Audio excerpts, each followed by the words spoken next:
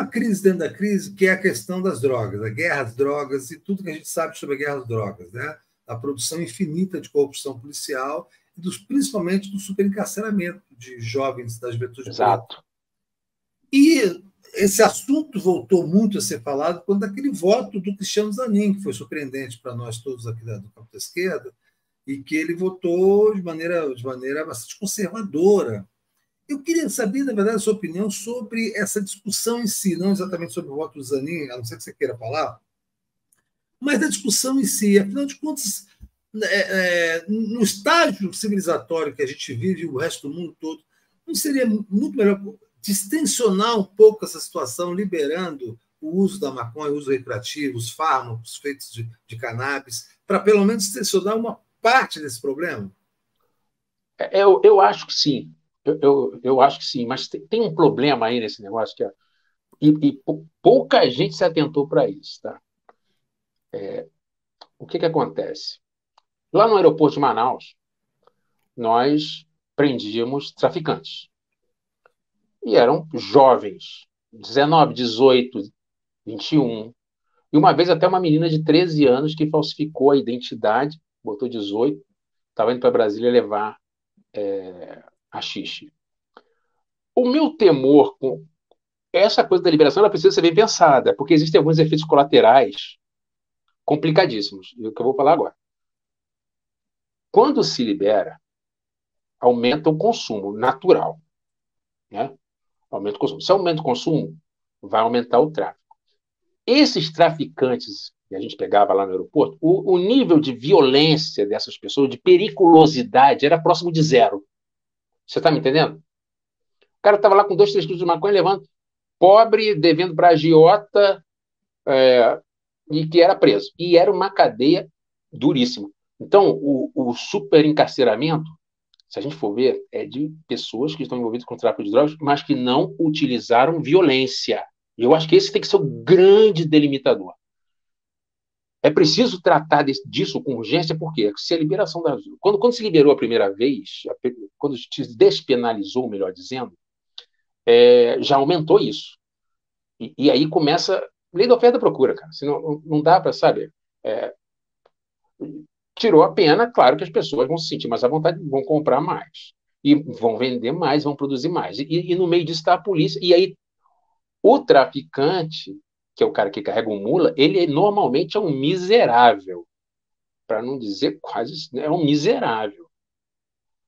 E são jovens. E aí você joga esse cara lá dentro da cadeia, você cria um exército para as organizações É sobre isso que eu estou falando. Na verdade, eu estou falando sobre Entendeu? maconha. Sobre é, não, eu estou falando só da maconha. Você, mas, mas, plantar mas alguém trafica. maconha. É, mas, não, tudo, não, sim. Eu fui no Uruguai, mas... em Montevidéu, as pessoas não, têm jarrinhos okay, em casa. Ok, ok, mas mesmo assim vão continuar traficando. É preciso não, tratar legal, que as duas questões sejam legal, tratadas. Se for legal, não precisa traficar. Se você puder comprar em farmácia, em Nova York você vai ter um monte de farmácia, um monte de é. banca para vender. Não tem mais tráfico de maconha. Mas a gente não vai conseguir chegar nesse ponto da noite para o dia. Vai ter um. Não, vai ter um. A gente precisa de uma solução para esse. Sabe por quê? Senão vai ter um super encarceramento vai ter um super encarceramento pesado, porque as pessoas, tá, até, até aquelas pessoas que querem usar, plantarem em casa, acreditarem, plantarem em casa e começarem a ter esse hábito, enquanto tem outro oferecendo. Então, as, as questões de usuário e traficante, porque é um negócio assim, meio, eu acho, injusto. Tem alguém que tem dinheiro, que é rico e que quer consumir. E tem um miserável que, tem, que pega por necessidade, muitas vezes, para transportar. Aí você alivia para o cara que está lá fumando e para o cara que está traficando. Você arrebenta com ele.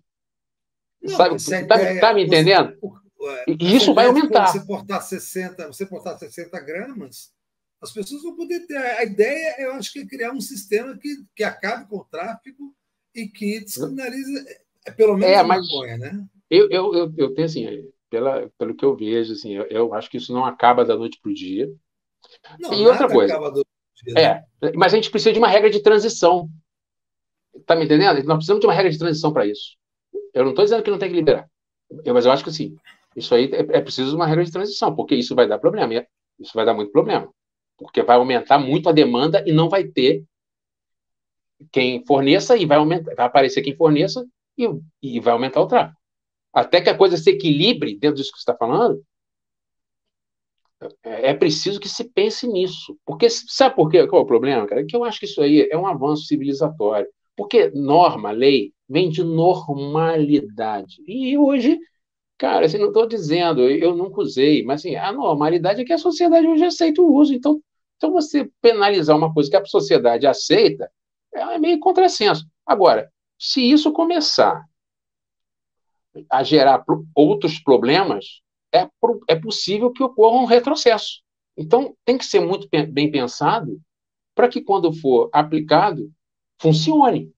E um dos problemas que eu enxergo nisso é exatamente nessa questão: é, o que nós vamos fazer com aquele pequeno traficante que carrega 3 quilos, 4 quilos, é, preso nos aeroportos? Vamos continuar mandando esse pessoal para dentro da cadeia? Eu acho que pode se pensar numa tornozeleira eletrônica, assim, alguma coisa tem que ser feita com esse cara. A gente não pode continuar criando exército para organização criminosa. Isso é uma das questões. Né? A outra é de questão de saúde pública também, que tem que ser avaliada, mas aí não é na minha área, não sei. O que, que isso causa, se vai liberar para adolescente, os danos que isso pode causar. Eu acho que o que funciona mesmo, eu acho que o que deve ser feito é, ao mesmo tempo que se libera, uma campanha fortíssima para que não se consuma, como se foi feito com tabaco como cigarro Entendeu? e como bebida. Né? Como não Exato. foi feito com bebida, na verdade. Né? Bebida caríssima. É, nunca foi feito com bebida. Nunca foi feito com bebida. É. Deveria, deveria. Não, pelo contrário. Nunca foi né? feito. Bebi, é, bebida é estimulado na televisão, né? Tome, é, beba. Ao contrário. Né? né? É. Lembra, Mas com cigarro você vê que... propaganda de cigarro, como é que era? Eram propagandas caríssimas. E aquela coisa ao sucesso, lembra? Hollywood ao sucesso. Malboro. Você, para ter mulheres maravilhosas e homens maravilhosos, e ter. Você tinha que fumar. É, e nos, nos filmes, né? Nos filmes, Hollywood, dos né? heróis. Aquele cigarro, é. aquele cigarro Hollywood que eu fumei, que era um mata-rato desgraçado, os caras que fumavam Hollywood na televisão era quem andava de jet ski, as coisas modernas, né? Tal. Era, é era associado à saúde, né? Mas bebida é associado ainda a prazer e a sucesso na televisão, né? na rádio, tudo, né? As músicas sertanejas, é. elas têm muito disso de estimular a bebida, né? o cara leva um chifre e enche a cara, bebe cerveja, vodka, é. uísque e tal. E essas é. proibições mostram que não funcionam, né? Não, eu, eu, não, não sei funciona. se é verdade, mas me contaram, teve a lei seca nos Estados Unidos, que foi um desastre, né? e, mas parece que teve a lei seca na Rússia também, não lembro que período, que proibiram a vodka.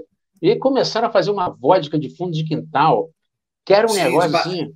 Isso, isso, batata fermentada de fundo de quintal, né? Que era dez vezes pior que a vodka tradicional. Sim. Aí, pô, tem coisa que não tem jeito, né? Tem coisa que não tem jeito.